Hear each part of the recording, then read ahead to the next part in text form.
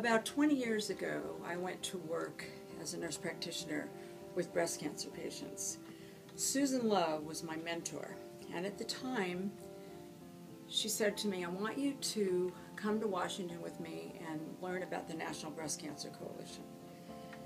It was at that time that I found the most incredible women, the most incredible advocates I'd ever seen. Seven years later, I was diagnosed with breast cancer.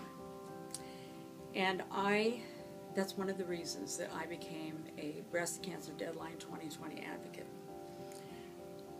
I don't want my children to get breast cancer. I don't want my grandchildren to get it. I have watched so many women in my practice diagnosed. Many of them have done very well, and I've lost a lot of friends. I'm tired of the status quo. I don't want this anymore. I want it to be over. Some of the things that I do as a breast cancer uh, advocate are I wear my pin every day. Um, I speak in the public and I talk about Breast Cancer Deadline 2020 all the time. I am fortunate enough that I get to see patients every day and I can talk about this deadline.